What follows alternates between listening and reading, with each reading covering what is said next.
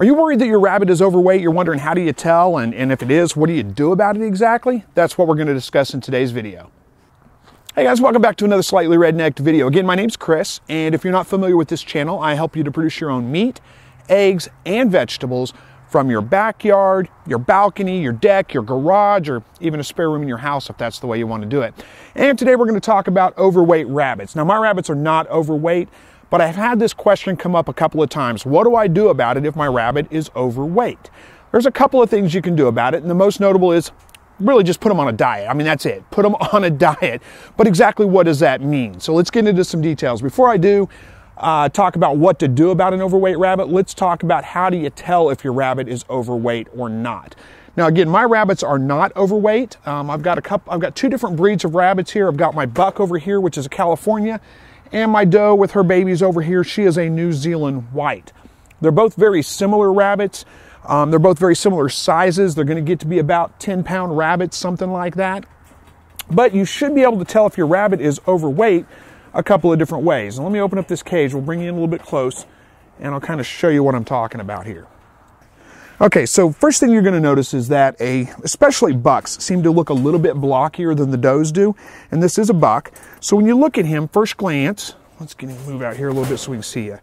He may look a little bit on the fat side. You're going to notice that underneath his chin, he's got some extra skin hanging down. That's pretty common. That's nothing to worry about there's a couple of signs you might be able to look at to tell if your rabbit's overweight. Without physically handling them, just watch them. If they're lethargic, if they tend to just sit in the corner and not move around a lot, um, if they end up with sore hocks, which is on the back of their feet, the back of their, um, their legs, if they end up with sore hocks there, that's a good sign that they may be a little bit overweight. So those are some things that you can look at. Biggest or the easiest way is really just to handle your rabbit, feel. What you should be able to feel is you should be able to feel the spine of the rabbit when you run your hand down the back. You should be able to feel his spine. It should feel like um, you're running your hand over a spine that's covered with maybe a thick piece of fabric, something like that. Now, if it's real sharp and pokey, that's a sign that your rabbit is underweight. If you can't really feel it, if you have to really press hard to feel it, that is a sign that your rabbit is overweight. Same thing with his ribs. You should be able to run your hands down the sides here and feel his ribs, which I can feel his ribs. And they feel kind of like, again, they're covered with a thick piece of fabric. If I have to press really hard to feel his ribs, that's a sign that he's overweight. If they feel sharp or pokey, that's a sign that he's underweight.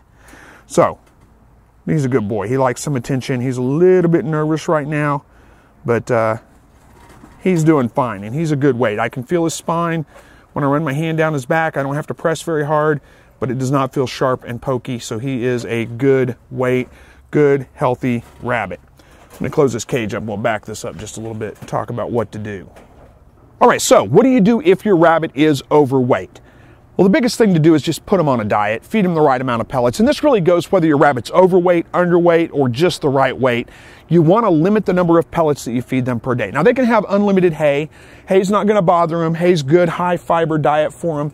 Um, but their primary diet is probably pellets, which is what I feed my rabbits. And you don't want to give them just unlimited pellets. You want to give them a limited number of pellets. My dog is, you can't see him in the camera, but he's just running circles around the yard right now and just ran right through here.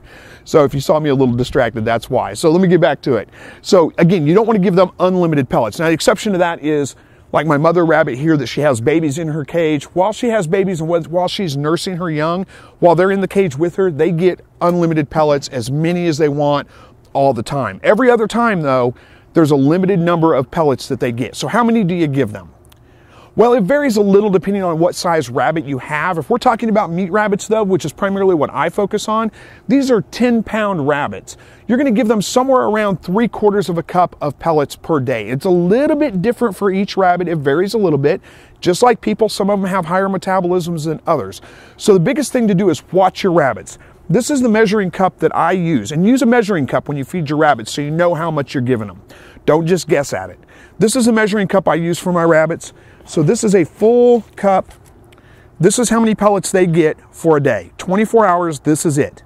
Now, if I go to feed my rabbits in the morning, they've eaten all their pellets and they just dive right into their feeder like they're starving to death, then they'll get a little bit more. So they'll get a full cup and about that much more, and that's it.